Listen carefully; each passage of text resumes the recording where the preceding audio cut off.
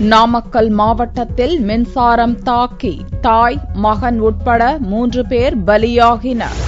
நாமக்கல் மாவட்டம் ராசிபுரத்தை அடுத்த கல்குறிச்சி வெள்ளாளப்பட்டியில் சம்பத் என்பவர் முந்திரி தோட்டம் வைத்துள்ளார்.